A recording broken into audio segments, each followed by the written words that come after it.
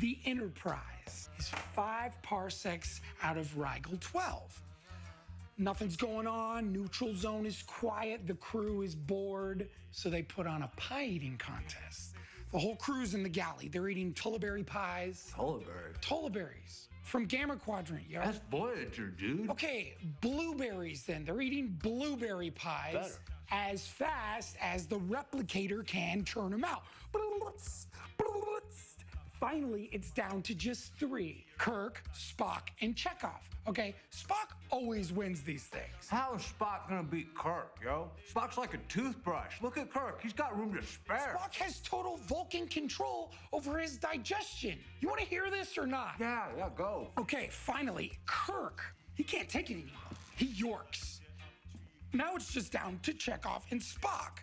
But Chekov, you see, he's got a whole fat stack of Quatloos writing on this.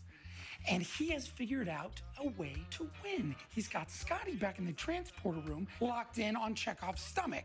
Every time Chekov eats a pie, Scotty beams it right out of him. Where's he sending him? The toilet? Space! Ah! There's blueberries just floating out there, frozen because it's in space.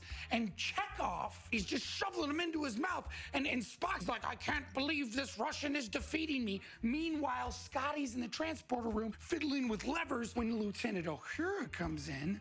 And she's got, you know, her big pointies. And Scotty's fingers are all sweaty. No. Chekov screams. He sprays blood out of his mouth. Oh. Scotty beamed his guts into space. No way!